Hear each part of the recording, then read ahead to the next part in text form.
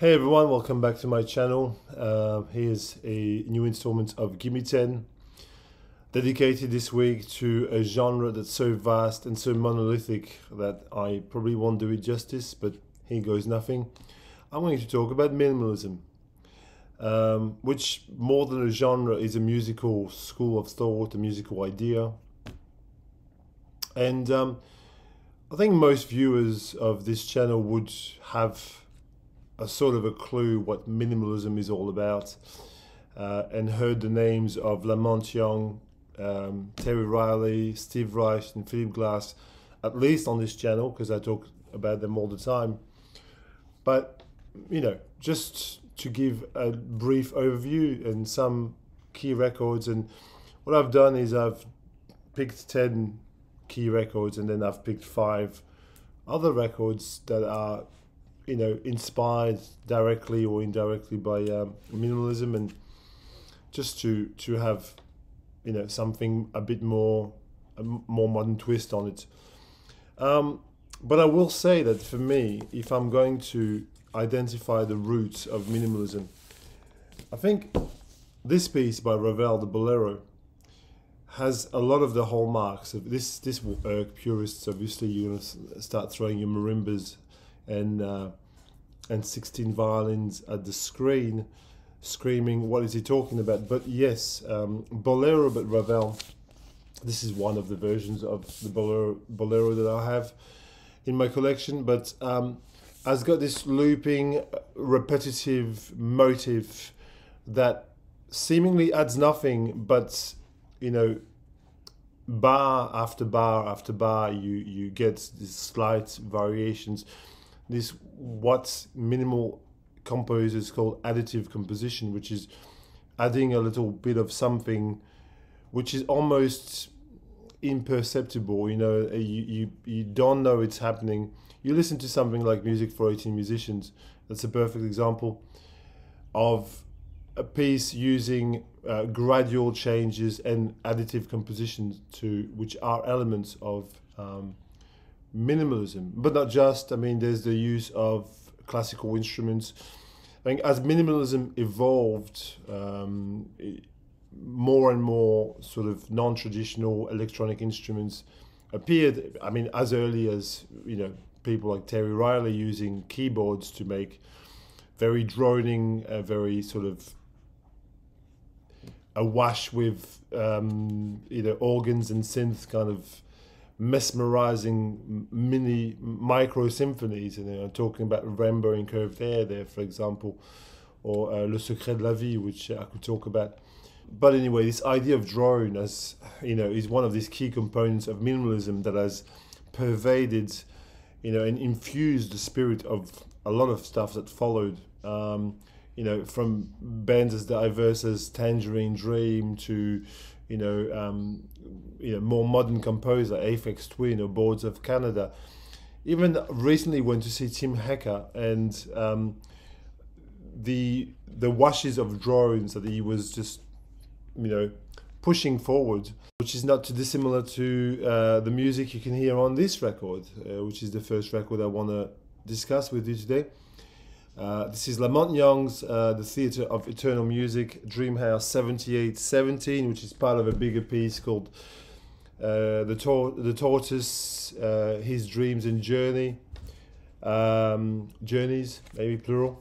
Um, uh, this is a four piece composed, made of La Monte Young on um, electronics and voice, Marian Zazeela, who was to become his wife uh, who does some singing, and you also have the trumpet of Jon Hassell on this, which is a good link to the video I did last week on Fourth World. Which is uh, this is a good, effectively, it's a good segue to that video. Um, the music found on this is uh, very droning, very, very, very repetitive. Nothing much happens in the way of changes. The changes as gradual as they may be, are very slight. Side B, I'm going to be honest, it's pretty shapeless music wise. It's just a drone that I don't think that I could find enjoyment listen, listening to. I'm going to be perfectly honest. This piece historically is very interesting. And um, for me, you know, these records by La Monte Young are very scarce. He didn't record very many things, um, so it's good to have some of his music and try to understand what he was all about. Um, a much more enjoyable release is um, so Terry Riley. Now both of both of both Terry Riley and La Monte Young were very heavily influenced by Indian music as well, and you can see how Indian scales, this kind of idea of microtonality, is very present within the music, uh, within minimalism. Uh, both of them studied with uh, Pandit Pran Nath, uh, who was an Indian vocalist who schooled them to the idea of you know um, Hindustani um, scales and chanting, and and that sort of informed their music. Now this record is an absolute masterpiece of again it's it's Terry Riley playing synth basically and um, uh, you know if you've ever heard Poppy Nogood and the Phantom Band which is the second track um, which is played on electric organ and harpsichords um, you get this absolute um, looping kind of again mesmerizing repetitive, but never you you never really bored listening to this. It's it's a it's a joyful piece of music and one that everybody should probably get into. So these are the the, the two originators, and then the names of Steve Reich and Philip Glass often pop up, obviously, for good reason because, well, you know, they had a lot of association um, and although to this day they will maintain that they hate each other, at the time they they were very good friends. And same with Terry Riley and La Monte Young, they were very good friends to start with, and there's so many feuds within the the minimalist community. They they're like the VC basically. Um, so. um, this piece for me is uh, a very representative, very lovely composition by Steve Reich. I mean, music for a musician for sure. But for me, I don't know. I tend to come back more to this these days. It's a similar piece in a way. Uh, octet music for a large ensemble violin phase. Um, it uses all the key concepts and the, the key tropes of minimalism from being played on standard instruments to this idea of gradual changes, additive composition, all of it is to be found here. Um, just yeah, came out on ECM in 1980, so a much later piece than uh, Rainbow in Curved Air from 1969, but all the same. And if I'm going to choose a Philip Glass piece to showcase, then I will go for North Star because it's the bite-sized Philip Glass, in my opinion. It's just they're small tracks, very digestible tracks, which get, which really get you the idea of Philip Glass, what he's all about. This is what Philip Glass is all about, but in a sort of condensed form. Um, he plays all sorts of electronic instruments from the Farfisa, Hammond organs, uh, Fender Rhodes, absinthe, and then there's a few other instruments that pop up: uh, sax, flute. Uh, Joan La Barbara uh, is on voice on this on this record. I, I just feel that this is a perfect, perfectly good representation of the art of Philip Glass, but you know, in the in smaller form.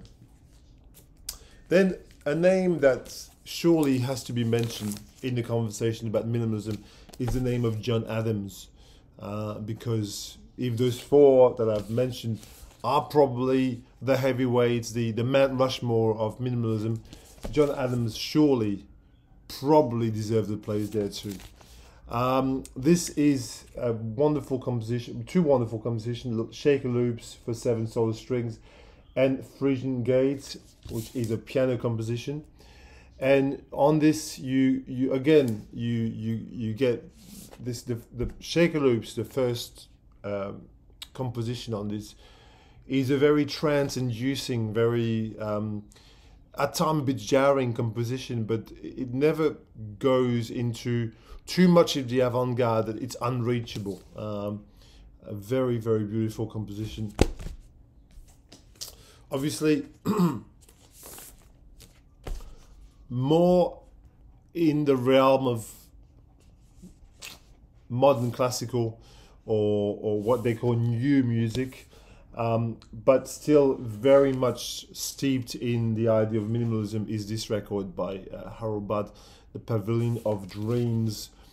A superb, just serene, lovely piece of um, of I mean, everything on there is just so incredibly fulfilling and lovely and um, features Marion Brown, obviously Harold Budd on piano on this, Gavin Bryars, which I'm going to talk about him in a minute, Michael Nyman, another heavyweight, heavyweight in the conversation about uh, minimalism, uh, who plays marimba there, for example, and lots of voices and lots of, uh, there's a chorus of voices, there's Brian Eno appears on this too, as he was, um, I think, the uh, the owner of the label this was released on. Um, just essential piece of, of work. Um, the first track, Bismillah Raman Rahim, uh, composed for Marion Brown, is just such a delicate piece of. It's just incredible. Gavin Bryars, I was talking about him a second ago. The sinking of the Titanic. I mean, Jesus, Jesus' blood never failed me yet. With its phrase that's repeated and repeated and repeated, and you never know when it's going to finish. That is minimalism 101. There is no. He's not. He's not. He's not shying from it. He's completely and utterly um, possessed by the spirit of minimalism. Um, has Derek Bailey on guitar, Michael Nyman on organ. You know, conducted by Gavin Bryars, obviously the cockpit ensemble strings fantastic composition from 1978 i obviously have to mention the amazing penguin cafe orchestra because whilst not exactly rooted entirely in minimalism has other elements of I don't know chamber music for chamber music for example but this record here is an absolute tour de force in terms of um, what when I listen to this, I, I just it, it's just such a again. It's like with the Pavilion of Dreams. There's a a sheer loveliness about this music which you can't you absolutely can't deny. I mean, obviously the instrumentation. This is the band led by Simon Jeffes, who, you know, is a genius. Was a genius, he's, he's no longer with us, I believe recorded in 1976. The sound of someone you love was going away and it doesn't matter. I mean, is that the best title track name that you could ever think of? Um, I have to mention this ECM classic, uh, which is very on the avant-garde tip. Uh, Meredith Monk, Dolmen music. Um, which is minimalism, but with a very strong emphasis on vocalization, voice used as, an, as a real instrument. Um, and she was very much active in the New York scene. And um, on this, you've got Julius Eastman, uh, Robert Een. Um, I think uh, that's Philip Glass might have been involved. So Colin Wal- Walcott is on percussion and violin on this, yeah. But um, she was very much a, um, at least a, a, dis- a, disciple of Philip Glass, uh, Meredith Monk, um, and um, okay. I have to mention the Kronos Quartet as well because, I mean, whilst you know they mostly play other people's music, um, they very much embodied a lot of the ideas of minimalism. This was sent to me by my uh, good friend Cedric uh, fairly recently in a, in a package. I want to shout, shout out to him as well. Um, and um, this has been re repressed by I think Vinyl Me Please um, and is a lovely, lovely piece to have. So the Kronos Quartet, the famous Kronos Quartet, David Harrington, John Sherba, Hank Dutt, and Joan Jeanrenaud on violin, viola, and cello. Um, absolutely delightful music again. Uh, what they call new music, uh, playing Philip Glass. And last record as part of this sort of official Gimme 10, which is already a Gimme 11. We don't care, it's my channel, I can do whatever I want. Is I have to talk about Arvo Pärt. Absolutely have to talk about the great uh, Estonian composer, Estonian, Lithuanian, Estonian. I said I never know. Um, I think he's Estonian composer, um, and especially Alina, which I think is my favorite. Very, very delicate, sort of almost absent. You know, so very just yeah atmospheric music and you know heart wrenching kind of kind of stuff. You know, um, I could have talked about obviously um, his great masterwork on ECM. Um, uh, name escapes me now, but I am not going to mention those. Te Deum is a choir of voices, the Estonian Philharmonic uh, Chamber Choir. Amazing stuff.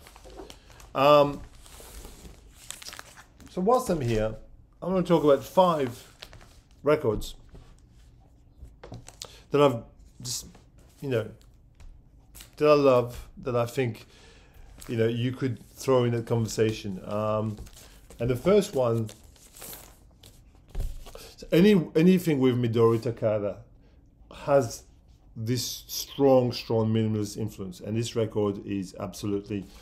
Um, you can't deny the influence of, of minimalism on Through the Looking Glass um, especially on um, the last track, Catastrophe. Um, it's just, yeah, there's this kind of Steve Reich esque kind of approach composition. Midori Takada, who is a Japanese composer, she's uh, she's still active and still tours. Um, you know, amazing. Um, here's a record that I got sent by my pal Christoph in Switzerland quite recently as well uh, in a VCLT package. Uh, Nachthorn, uh, Maxime Denuc.